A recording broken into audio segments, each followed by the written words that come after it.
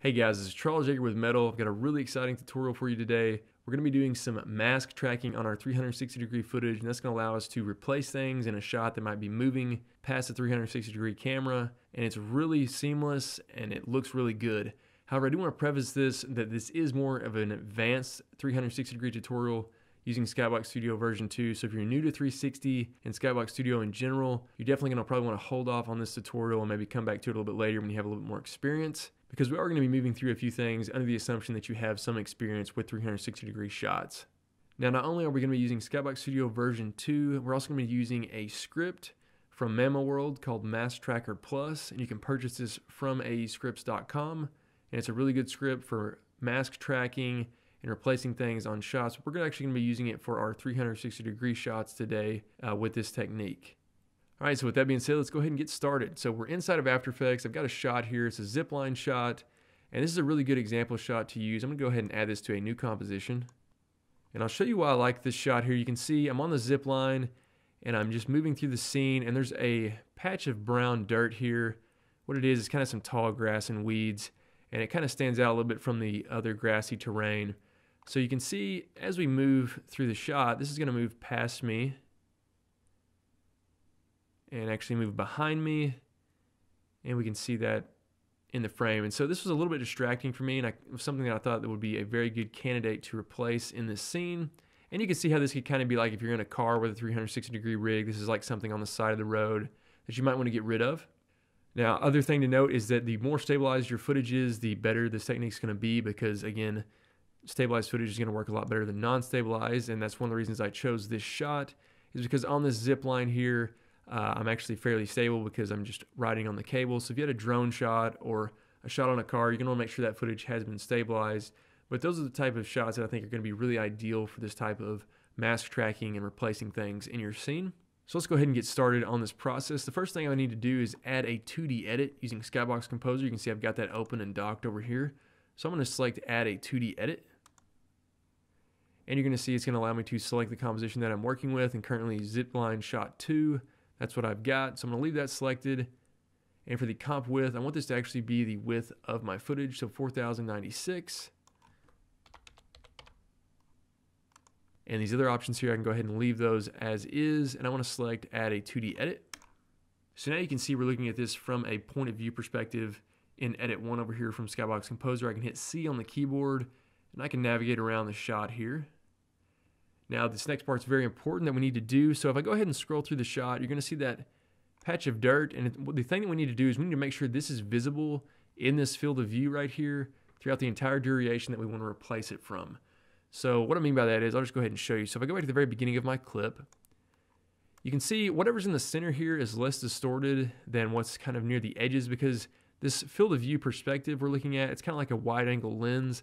So what we can do is we want to try to keep the area we want to replace near the center of the shot the whole time. It doesn't have to be in the exact center, but the closer the better. And one thing that can kind of help you with this process, come down here and you can turn on the title action safe. That's going to add a little crosshairs right here in the middle. So that's a perfect target for us in this case. So I'm just going to rotate this around with the camera and you can hit C on the keyboard to bring up this orbit tool. And what I want to do is on my camera, I'm just going to check down on this for transform and you're to see orientation. So we just need to go ahead and set a keyframe there when that's in the center. And I'm just going to move forward in my shot, just a couple seconds or so, about five seconds. And I just want to reorient the camera now so that that patch of dirt is still kind of in the center or whatever you're replacing in your shot. So you can see that automatically created a keyframe there and that's what we want. So I'm just going to move down a little bit more in time and rotate this again so that that patch of dirt is back in the center. And the goal here is, is that the camera is constantly facing the area we want to replace. That way it's always uh, in the view for our edit one here. And that's going to ensure when we do our mask tracking that it's always in the frame and the mask tracking will be able to pick it up. So you can see here, now I'm rotating and now that's back, putting that back toward the center. And let's go to the very last frame of the shot and keep that up in the center. All right, so now that we've done that, I'm gonna go ahead and select all these keyframes just by clicking and dragging. And I'm going to go ahead and control click on those so it makes them round. So I think those are roaming keyframes now. And it just kind of smooths out the entire playback of everything here. So I'm going to go ahead and do a quick ramp preview so you can kind of see what's happening with this. hit zero on the numeric keypad. And now we can see that that patch of dirt is in the shot.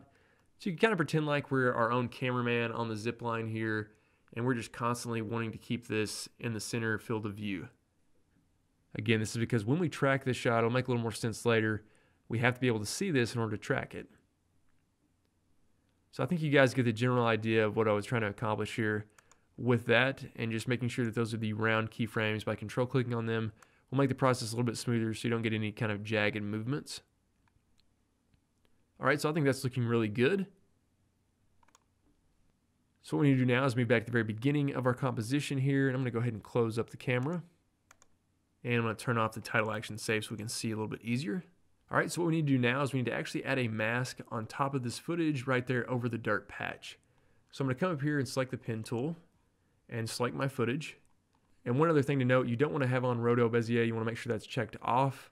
And what I want to do is just create a mask, kind of a square mask around this area I want to replace. It doesn't have to be square, but in this case, I think that'll work out okay. So I'm just going to click here and just kind of creating a mask. It looks like it's kind of on the surface of this area.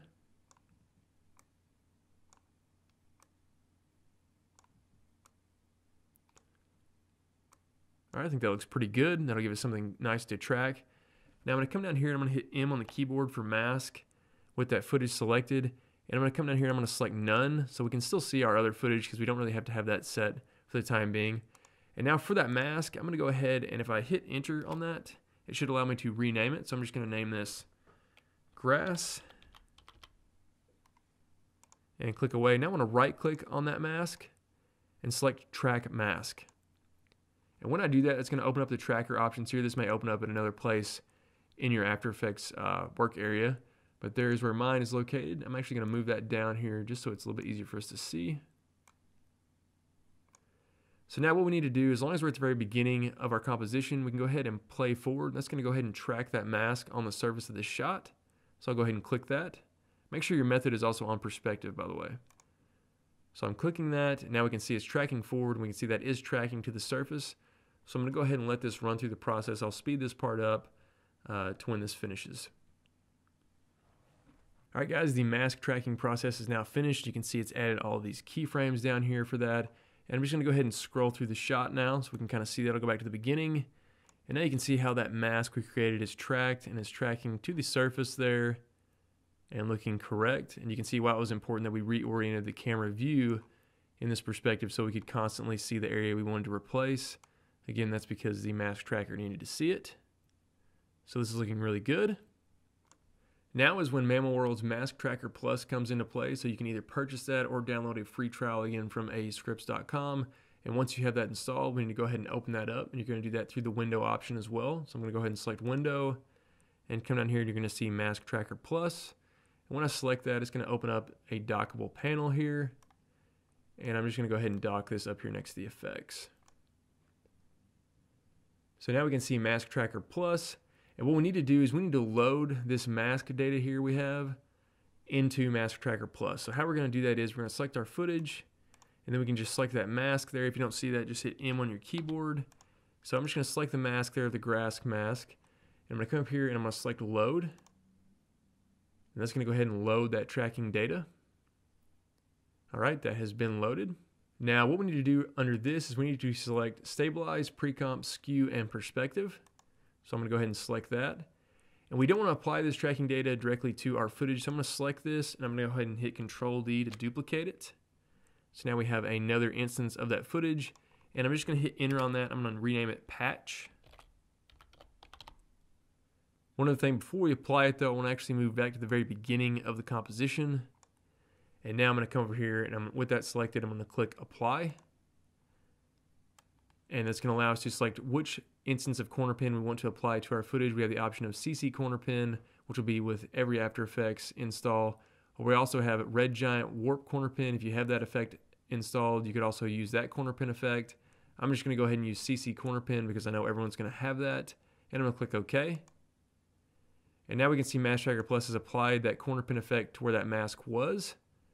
Now what we can do now is I'm going to go ahead and select that patch pre-comp down here. I'm just going to double click on it. So don't click OK on this just yet. And now we can see this patch perspective here. But what I want to do is I'm going to come here to composition. I'm going to click that. And this gets a little tricky, so just make sure you follow along. I'm going to select new comp viewer. So now we have two different views. And now I'm to go back to the edit perspective here. And the reason this is good is now I can have two different views and I can kind of see in real time what's happening with the patch view from the Skybox Composer edit view. It's getting a little complicated, so again, make sure you just kind of follow along here. So what the benefit of this is, is now I can go ahead and move these corner pins around. And you can see how it's updating from this view. So I can go ahead and stretch this out to make it a little bit bigger of an area. And kind of remap it so that it looks like it's right on the surface there. So it looks like I'm a little bit far on that side. So I'm just trying to make this look as flat as possible and that I'm getting enough data that's going to be good for me to kind of copy everything out on this. So as you can see, I'm just kind of flattening this up. So now that we've got that looking the way we want, I can go ahead and close this view. So now we're only dealing with one view again.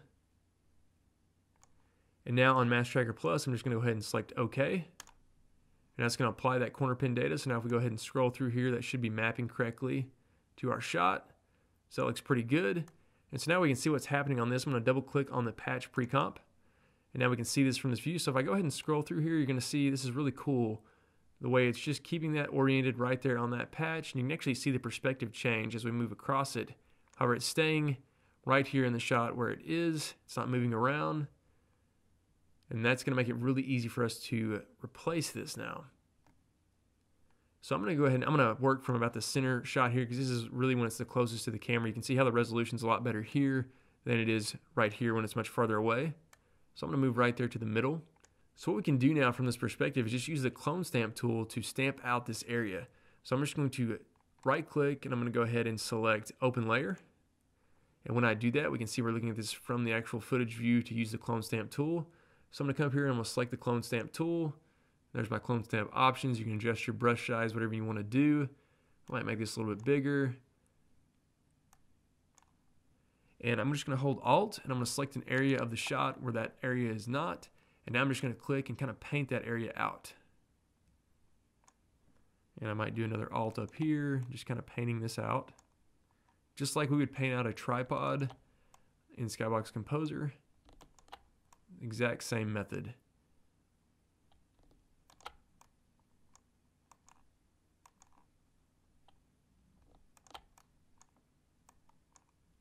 All right, so it looks pretty good. I've painted that out. Now, one important thing to note is, is that since we were painting this out from the middle of the comp, our clone stamp tool is not affecting the entire shot yet. So if I went back over this way, you can see it reappears and now it disappears. However, we can see the clone stamp area has been replaced and it looks quite nice. So what we need to do is we need to stretch those clone stamps out so they extend the entire length of the footage. Again, the benefit of working from the middle is we have more resolution right here at this point so we can kind of see what's going on. So I'm just going to select my pre-comp here. I'm going to open it up under Effects, Paint. Now we can see all these different clone layers. So I'm going to select clone 1. I'm just going to hold Shift and select clone 9. So now all those are selected. If I just highlight the corner here, we can see the double arrows appear. I'm just going to click and drag. So it's going to extend those all the way out. So just drag those all the way to the beginning. And now if we look at this, it should be covering throughout the entire shot. And it does appear to be so. So now we can go ahead and go back into edit one. And now we can see that dirt area has been replaced. And what's even more interesting is that this has been mapped correctly for the perspective. So you can see as I scroll through the shot here, there is no trace that that was ever there. And this is pretty remarkable. I'm even looking for areas where I can see where it's been clone stamped out and it's difficult to see if you can even see it at all. So that's the major benefit of this effect. And just if you don't believe me, we can go ahead and turn this on and off and we can see where it used to be. So that's really cool how that's mapping correctly on top of the surface in this 360 degree shot. Now all we have left to do is go ahead and select open output render.